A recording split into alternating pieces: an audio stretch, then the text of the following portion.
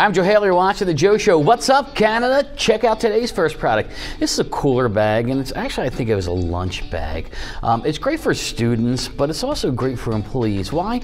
Well, student puts usually a sandwich, and maybe a bag of chips or a bag of pretzels, and a piece of fruit in there for lunch, right? They don't need anything this big.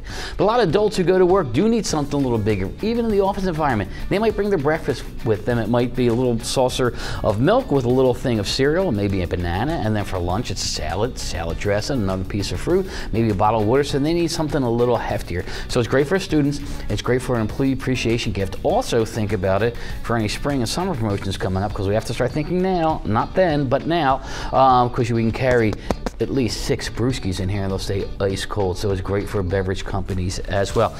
I'll show you a tote bag now. Um, I like this tote bag. You got handles that are big enough that you can strap it around your shoulders if you want or carry it on one shoulder. It's got this great mesh detail on the sides, a zippered pocket on the uh, outside and on the front, and we have a zippered, zipper compartment Main compartment. Uh, this is great for trade show season. Your clients might be exhibiting at a trade show. How do they draw people to their booth? Well, they give out a tote bag. Why? Because you've been to trade shows. You know, you get samples. I don't care what industry it is. You get samples, you get catalogs, you get sales sheets. You need to put it somewhere.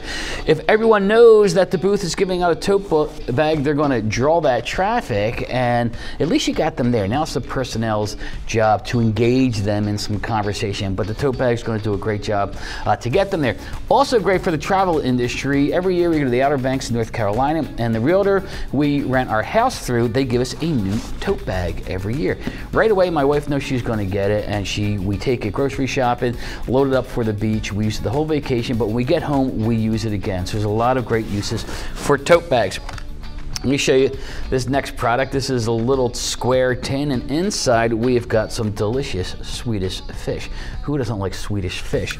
Um, this is a great leaf behind. This one's got a real estate logo on it. This is great for open houses. People come into an open house, you have a tin of the Swedish fish there. They can sign in, pick one up. They can enjoy them as they're going through the house. Then they got the contact information. Also a great leave behind. When you're calling on clients, no matter what industry you are, you go to a client's office, you're calling on, make sure you have something to leave with them. The receptionist especially, that gatekeeper they had need to get something like this and the assistant to anyone you're dealing with. So a lot of great uses for sweet, delicious treats. And finally on the Joe Show, I really like this product. This is pretty cool, okay? So we've got a carabiner here with a flashlight on it. So I put my car keys on there. What happens every time you need a uh, flashlight in the car start? You gotta stop the car and pull them out. This is a great because you're just gonna take the back off. It's magnetic and you're gonna get a high beam and then you get a, a, a, a strobe light.